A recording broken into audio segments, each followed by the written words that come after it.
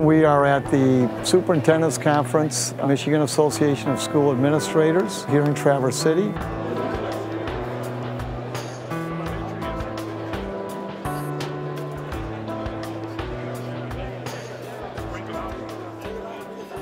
To bring the educators from Michigan State together with our superintendents from across the state is important for a variety of reasons. It connects K-12 to higher education. It connects training of our teachers with training of our superintendents, with the College of Education and from those in the field.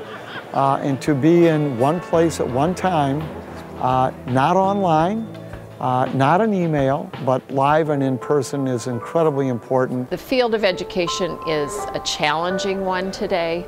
Policies change rapidly. The demands on school administrators are incredibly difficult.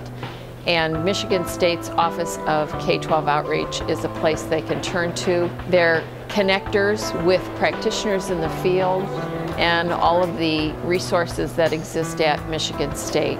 As we're working with priority and focus schools across the state, it gives those superintendents from around the states who are here in this venue an opportunity to come and resolve some issues, to pick up material, to get directions on how to proceed with other issues that they may be having. It's hard to be identified as a priority or focus school. The superintendents that are taking it as a, a way to dig down deep and figure out what they can do for the kids who aren't succeeding are just seeing that there are rewards to that. We had many of our focus schools who were identified in 2012 that are now named reward schools. So that is a pretty exciting thing too.